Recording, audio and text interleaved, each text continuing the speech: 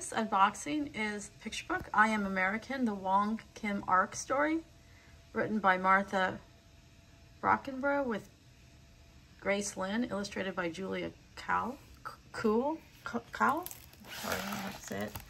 And so this was another um, Supreme Court case. Um, and this was the case that decided um, that if you were born in the United States, then you are a citizen. Because before that, um, Asian Americans or Asians could be denied citizenship um, based on being, you know, Asian. And so that that rule did not happen through, you know, um, through laws. It was challenged um, and then made precedent. Um, and so Wong Kim Ark is the person, and uh, the reason why if you're born in the United States, you are automatically a citizen. So this is his story. He was born in San Francisco. Um, and this was, like, what year is this? This is 1800s? I'm not sure. Um, so born in San Francisco, um, Chinatown, I imagine. Yeah, this was, yeah, pretty long ago. They're still wearing the traditional Chinese clothes. Um, and here, you know, stores are being uh, vandalized because of racism. Uh, when hard times hit, um, many people blame the Chinese.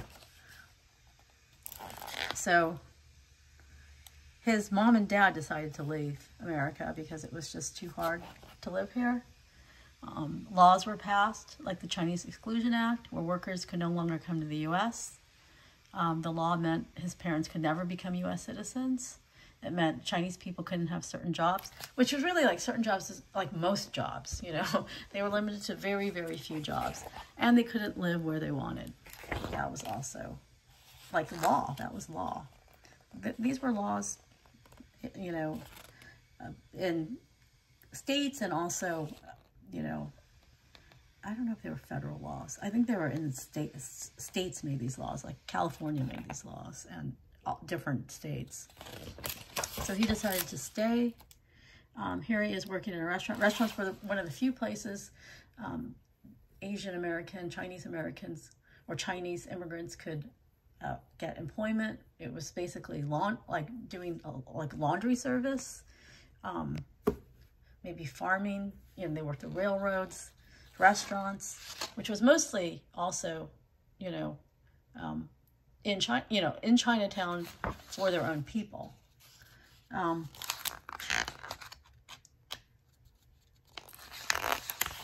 so he Oh, what happened? He, when he returned to San Francisco, um, he was imprisoned because they, you know, they didn't think he had the right to um, come to the United States. Is that what it was? But he won his lawsuit and was freed from the ship. And this case was like what made him American. Why couldn't he be a citizen? Um, I don't know who, like who his attorney was, like who, who helped him with his law case, um, with his legal battle. The Supreme Justices um, took more than a year to decide. Um, but he won. His victory changed a nation. And that's why today here he is too. I, I feel like this is the only picture of him because that's the one they show with that, you know, sort of like the chapter or the middle grade book when they have like the diary of people. Because um, I think there's a diary of his story that's like a fictionalized diary. Um, and more endnotes. Henry Foote argued against him yeah, who? Oh, so George D. Collins, a San Francisco lawyer, was the one who defended him. Oh, wait, no. He also, no, he was bad. He, he also argued to prevent him. And then who actually, oh, so that's who argued against him. And then who argued for him was Thomas Riordan. Um, Maxwell Evarts, a former U.S. Assistant Attorney General, J. Hubley Ashton, and then the Chinese Consolidated Benevolent Association also supported him. And here we have a timeline of everything that happened. Yeah, and right now you're seeing a, a sort of a, um, a change in education um, I know the state of Illinois, the state of California, and I think New Jersey is also pushing for more Asian American history to be um, taught in the school system. Um, it sort of came out of um, all the um, anti-Asian racism and violence.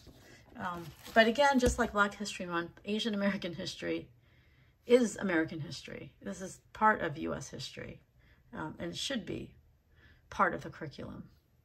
So anyway, thank you to the publisher, Little Brown, for sending me this book, and thank you for watching.